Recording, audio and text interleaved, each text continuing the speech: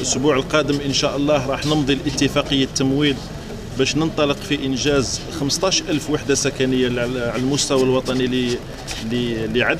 وهنا نوجه دعوة لكل الولاة الجمهورية على المستوى الوطني إنه يعني آه، نسرع في في تطبيق هذه التعليمه رقم اثنين اللي تسمح لكل المواطنين باش يتحصلوا على العقود نتاعهم. وحنا مشينا إنه قلنا إنه سنة 2022 إن شاء الله ستكون سنة تمليك السكنات.